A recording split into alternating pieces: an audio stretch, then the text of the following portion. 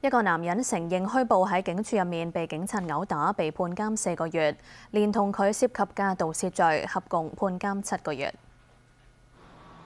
四十六岁被告梁英明报称无业，案情话六月尾佢喺奥海城一间超级市场偷咗二千几蚊嘅货被捕。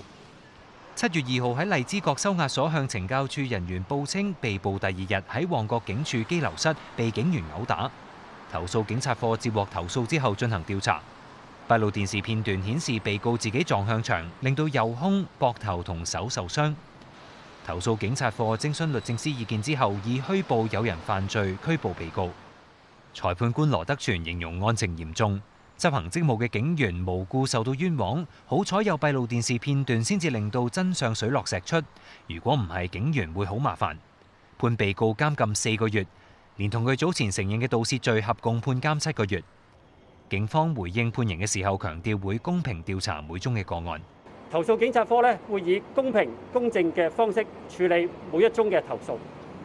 但系若果我哋发现任何人向警务人员作出不实嘅指控咧，佢哋将会面对严重嘅后果，包括系被刑事检控。